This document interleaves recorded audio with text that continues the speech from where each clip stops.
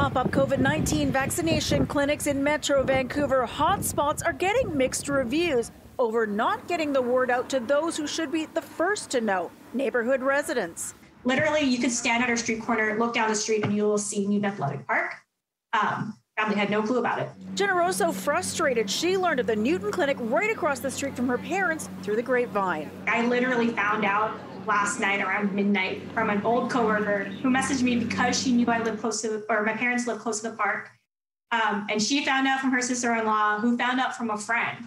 Newton's Pratap Sandhu also learned about the clinic from his sister-in-law, but he's really impressed. There's individuals there who can translate for you if you cannot, if English is not your first language.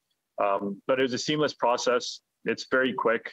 Uh, it's it's easy. I was vaccinated yesterday, and, and I feel great. Today, his family business offered paid time off to dozens of their staff to wait in line and get their shots. We've actually just given them the day off. Um, they're waiting in line. We've given the option, depending on what time they're done their vaccination. They're more than welcome to come back to work.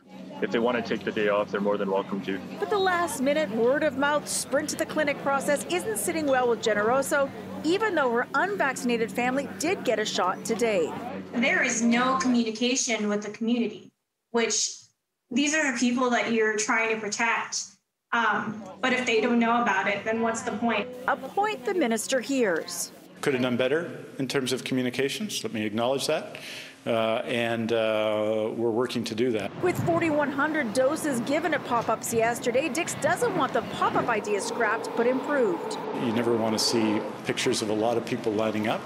But that said, and we're seeing a little bit of that in Surrey today, but that said, we're going to continue uh, our best to target those communities, and this is one way to do it. Generoso hoping they figure it out. Yeah, go old school if you have to. Get it out there to the community flyers in multiple languages, in Punjabi, in Tagalog, in whatever other languages are predominant in that community, so that people can get the information they need.